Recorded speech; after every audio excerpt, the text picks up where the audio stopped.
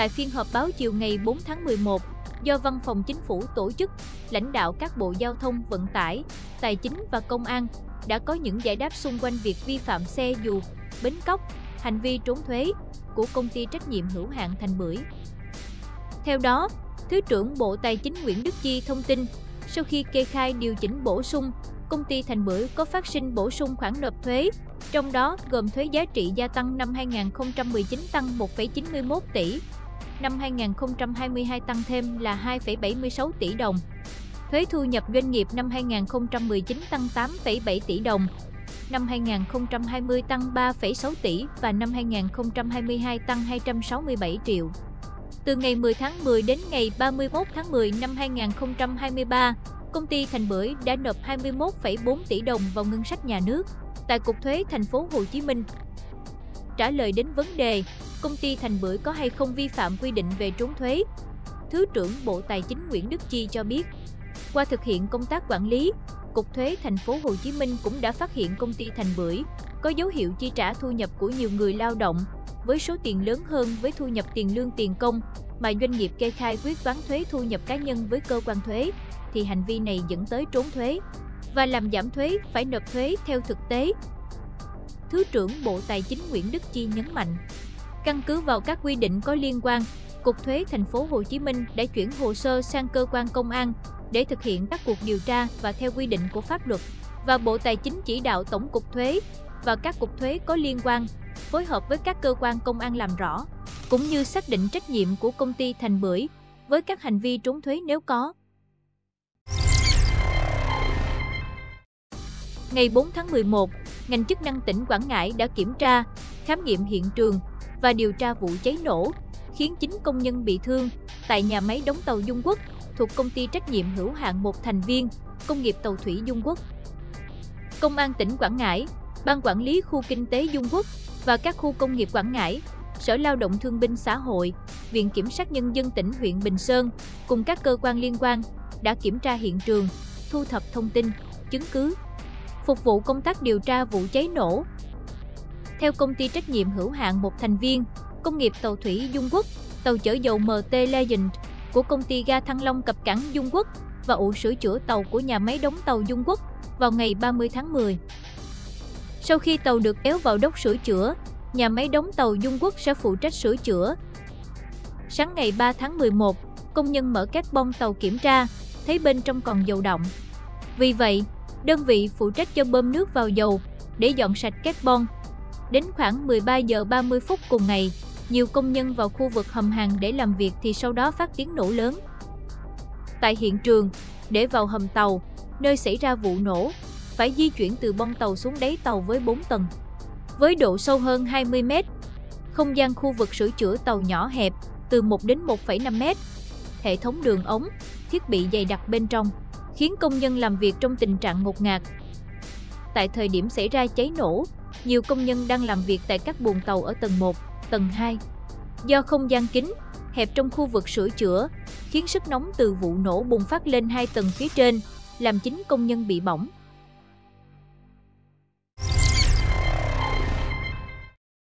Sáng ngày 4 tháng 11, Phó Chủ tịch Ủy ban Nhân dân thành phố Hồ Chí Minh Dương Anh Đức làm trưởng đoàn kiểm tra thực địa các dự án công trình y tế trọng điểm và dự án đầu tư xây dựng trung tâm triển lãm quy hoạch thành phố.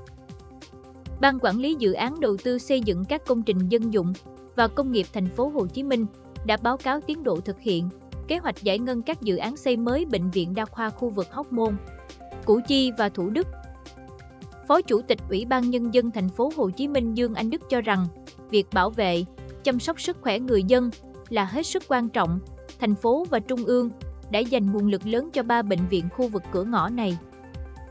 Theo Phó Chủ tịch Ủy ban Nhân dân thành phố Hồ Chí Minh Dương Anh Đức, dự án xây mới bệnh viện đa khoa khu vực Hóc Môn có đặc thù vừa phải xây dựng nhưng vừa đảm bảo việc khám chữa bệnh, do đó phần nào ảnh hưởng đến tiến độ triển khai.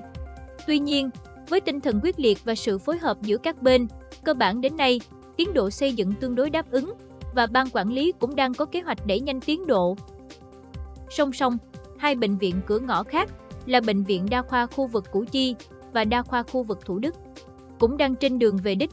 Theo kế hoạch, Cả ba bệnh viện trên sẽ đưa vào sử dụng vào năm 2024. Phó Chủ tịch Ủy ban Nhân dân thành phố Hồ Chí Minh thông tin thêm, hiện có một vấn đề quan trọng cần làm là ba gói trang thiết bị cho ba bệnh viện này phải đảm bảo tính đồng bộ, hiện đại để phục vụ người dân. Chủ tịch Ủy ban Nhân dân thành phố Hồ Chí Minh đã chỉ đạo các sở, ngành, khi bệnh viện xây xong thì các thiết bị cũng phải sẵn sàng đưa vào sử dụng.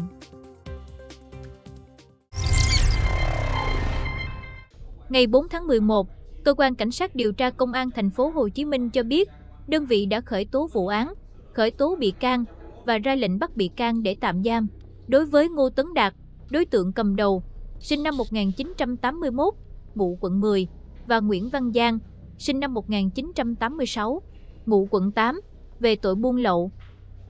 Trước đó, ngày 26 tháng 10, công an bắt quả tang Giang khi đang nhận các thùng xốp chứa điện thoại di động nhập lậu để vận chuyển vào kho hàng trên đường Hưng Phú, phường 8, quận 8.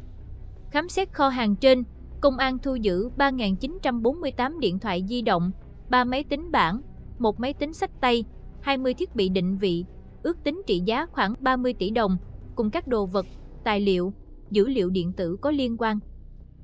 Giang khai, cất giấu số tăng vật trên theo chỉ đạo của Đạt. Qua điều tra, công an xác định từ tháng 12 năm 2021, Đạt đã móc nối với A Muối, chưa rõ lai lịch, sống ở Campuchia, hình thành đường dây buôn lậu điện thoại di động các loại từ Campuchia về thành phố Hồ Chí Minh tiêu thụ. Trong đó, Muối có trách nhiệm chuẩn bị nguồn hàng, tổ chức vận chuyển hàng lậu qua khu vực biên giới Campuchia Việt Nam. Từ tháng 12 năm 2021 đến thời điểm bị bắt, đường dây này đã vận chuyển trót lọt trên 22.000 điện thoại di động, máy tính sách tay, máy tính bảng các loại, ước tính khoảng 300 tỷ đồng. Ngày 4 tháng 11, Công an thành phố Thủ Đức, thành phố Hồ Chí Minh đang tạm giữ Đặng Quốc Huy, sinh năm 2000, Châu Tuấn Kiệt, sinh năm 2003, Sơn Nguyễn Hoàng Minh, Ngô Thành Trung, cùng sinh năm 2000, cùng ngụ thành phố Thủ Đức và 6 người khác để điều tra về hành vi dùng súng bắn người gây thương tích. Trước đó, sáng ngày 2 tháng 11, một người phụ nữ đang ngồi trong quán nhậu ở phường Hiệp Bình Chánh, thành phố Thủ Đức, thành phố Hồ Chí Minh cùng một số người bạn thì bất ngờ bị một nhóm người đi xe ô tô tới quán, cầm súng bắn nhiều phát, khiến người phụ nữ bị trúng đạn. Gây án xong, nhóm người này tẩu thoát. Công an có mặt phong tỏa, khám nghiệm hiện trường, thu giữ đầu đạn. Qua truy xét, công an đã bắt được Huy cùng 9 người khác. Bước đầu, nguyên nhân được xác định là do mâu thuẫn tiền bạc.